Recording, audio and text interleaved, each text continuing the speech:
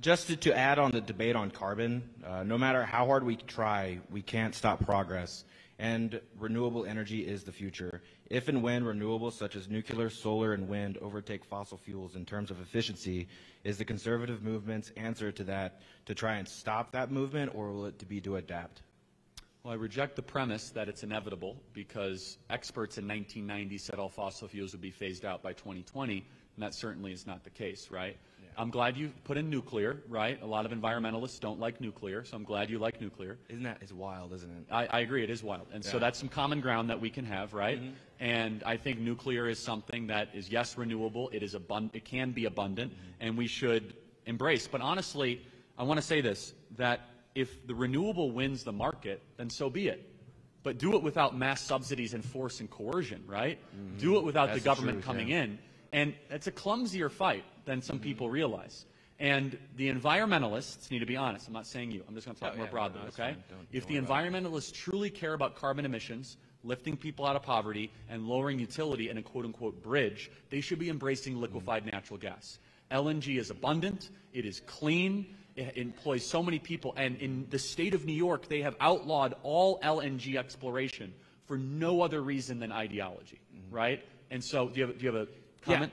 Yeah. Uh, to add to the uh, previous gentleman who was up here uh, talking about climate change is why I came up here. Sure. Um, I have an idea on how to like bring conservatives more into on quote unquote environmentalism is to actually focus on actual conservation. Like if you, I want to say it's the Illinois River which is completely infested. Illinois, Illinois River, excuse me, is completely I'm, I'm, infested. I'm from the corrupt Asian state of Illinois. Okay.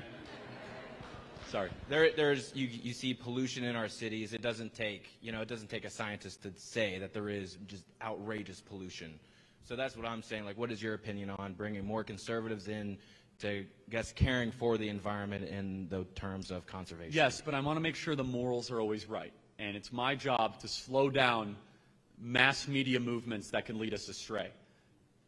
The separation between man and nature, as set out in the first 11 books of Genesis, I believe is the prop, obviously, it's the truth, it's the proper way. We do not worship nature and we do not serve nature. Nature serves us. But we must try to conserve it so other people can also enjoy it so humans, human beings can flourish. That's an important moral statement that not every environmentalist believes. Mm. Some environmentalists believe the humans are the toxin in nature that they are the invaders in nature.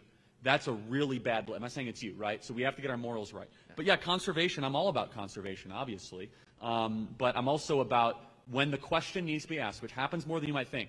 Do we explore natural gas, fossil fuels, or coal to help people, or do we not do that to preserve some butterfly that we've never seen?